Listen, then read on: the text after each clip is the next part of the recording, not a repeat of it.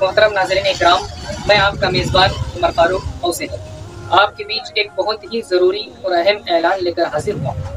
फितनों के इस दौर में नई नस्ल हजूर अक्रम वसल्लम की ज़िंदगी से कैसे बाखबर हो? इसलिए लातूर ज़िले के कराम ने एक कंपटीशन और कोइज़ मुसाबका तय किया है।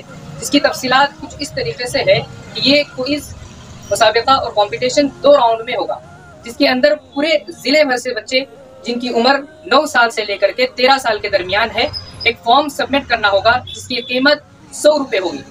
इसके साथ एक आधार कार्ड और फ़ोटो भी ज़रूरी है। नाजरीन इकराम, आधार कार्ड और फ़ोटो के साथ आपको सौ रुपये देने होंगे, जिसके लिए आपको एक किताब और एक सवालिया पर्चा दिया जाएगा। और इस सवालिया पर्चे को हल करने के लिए आपके ताल्लुके में पहला राउंड का कंपटीशन होगा, जिसकी तारीख 17 सितंबर होगी। और जो बच्चे इस कंपटीशन के अंदर मुसाबके में, जो कि राइटिंग में होगा, तहरीरी शक्ल में, इसमें पोजीशन से आएँगे, उनके लिए फिर फाइनल राउंड जो होगा 24 सितंबर को रखा जाएगा। उसमें जो बच्चे कामयाबी हासिल करेंगे, यानी कि कंपटीशन में, और कोई इस मुसाबके में अच्छे पोजीशन में आएँगे, उनमें से पहले पोजीशन वाले बच्चे के, या फिर बच्ची के लिए बीस हज़ार का इनाम होगा, दूसरे नंबर वाले के लिए सत्रह हज़ार का, तीसरे नंबर वाले के लिए तेरह हज़ार का, और चौथे नंबर वाले के लिए दस हज़ार का, और पांचवे नंबर वाले के लिए सात हज़ार का इनाम होगा।